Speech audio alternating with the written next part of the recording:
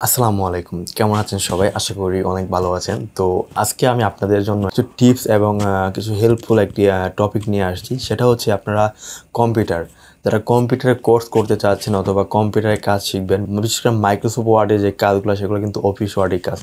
বিশেষ করে প্রত্যেকটা কোম্পানি এবং ফ্যাক্টরিতে কিন্তু আপনার ওই অফিসের অফিসিয়াল যে কাজগুলো থাকে, সেগুলো কিন্তু আপনার মাইক্রোসফট ওয়ার্ডে দিয়েই কাজগুলো করা হয়।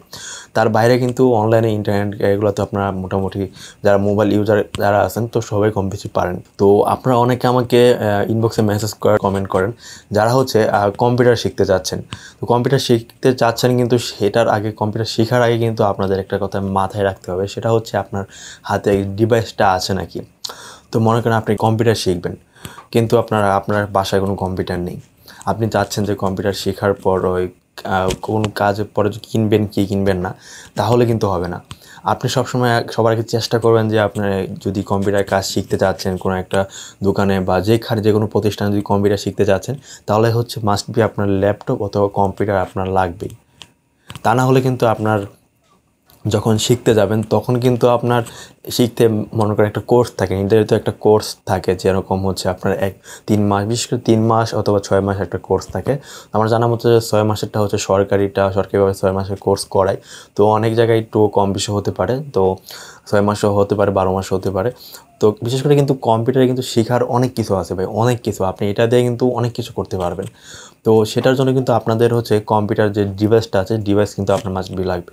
কারণ হচ্ছে আপনার একটা ছয় মাস, তিন মাস যাই হোক হোক না কেন আপনি একটা কোর্স করছেন কোর্সটা কমপ্লিট করছেন, কিন্তু বাট কোর্স চলাকালীন কিন্তু আপনার এটা লাগবে। কারণ আপনি আপনার তো আর বাসায় নেই, আপনার একটা প্রতিষ্ঠানে গিয়ে প্রতিদিন দুই ঘণ্টা বা তিন ঘণ্টা করে সময় দিচ্ছেন। কিন্তু বাসায় এসে কিন্তু আপনার মাস্ট বি প্র্যাকটিস করতে হবে। কিন্তু প্র্যাকটিস করার জন্য যদি আপনার বাসায় কম্পিউটার না থাকে বা ডেস্কটপ মানে ল্যাপটপ যদি না থাকে, তাহলে কিন্তু আপনি আপনার যেটা শিখতেছেন সেটা কিন্তু আপনার মাথায় আর থাকবে না বেশিক্ষণ। কারণ আমাদের ব্রেনটা হচ্ছে এরকম যে, আমরা কিছু একটা করলাম, সেটা যদি আমরা চর্চা যদি না করি মানে প্র্যাকটিস যদি না করি, তাহলে কিন্তু সেটা আর মানে আমাদের আর ওইটা থাকে না, মাথায় থাকে না।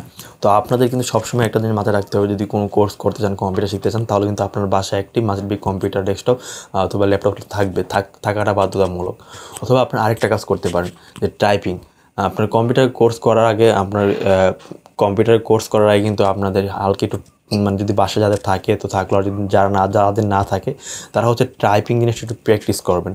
অনেক মোবাইলের মাধ্যমে কিন্তু আপনার কানেক্ট করে হয়তো বা ওটা আপনার এখন কিবোর্ড মাউসের দাম একটু বাড়ছে বাট ওটা পনেরোশো টাকা লাগবে না মানে এক হাজার টাকা বা হাজার বারোশো টাকার মধ্যে ব্যাক আপ হয়ে যাবে আপনাদের সব কিছু তো এটা নিয়ে যদি আপনারা ভিডিও চান, অবশ্যই আমাকে কমেন্ট করে জানিয়ে দেবেন।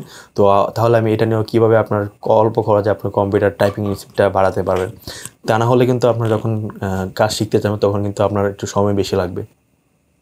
আর ওই একটু বাসার মধ্যে আপনার মাউসটা কিন্তু প্র্যাকটিস আস্তে আস্তে হয় না। মাউসটা কিন্তু যারা ফার্স্টে আমি আমি নিজেই ফার্স্টে যখন মাউস ধরছিলাম তখন কিন্তু মানে এটা কেমন যেন মানে মানে লড়ালড়ি বেশি করছিল কোনো মানে নিজে হাতের আওতায় ছিল না।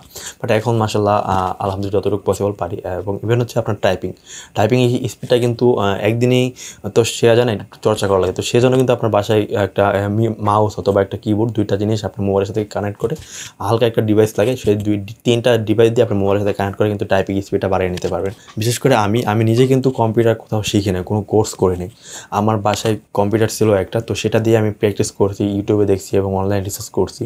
এবং অনলাইন থেকে ফার্স্ট যখন কম্পিউটার শিখতেছি, তখন কিন্তু আমি একটা আর্নিংও আর্নিং করার একটা ব্যবস্থা করছিলাম যে একটা কাজ করতেছি, তো সেখান থেকে একটা টুকটাক আর্নিং আসুক, আমি সেটার ব্যবস্থা করছি।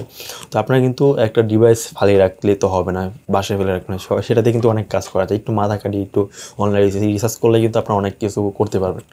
তো আমি এটা ওইদিকে যাব না, তো আপনাদের আমি একটা কথাই বলব, আপনাদের ডিভাইস বাসায় রেখে তারপর হচ্ছে কম্পিউটারের কাজ শিখতে যাবেন, অথবা যেটাই করেন না কেন। তো জানি না ভিডিওটা কেমন হয়েছে, অবশ্যই ভিডিওর নিচে কমেন্ট করে জানা দিবেন যদি ভিডিওটা ভালো হয়ে থাকে। আর যদি ভালো খারাপ হয় তার হলেও কমেন্ট করবেন যে কোন জায়গায় ভুল হয়েছে। তো আমি আর বেশি বকবক করতেছি না, তো আজকের মতন ভিডিওটা এই পর্যন্তই। তো সবাই ভালো থাকবেন, সুস্থ থাকবেন। আসসালামু আলাইকুম।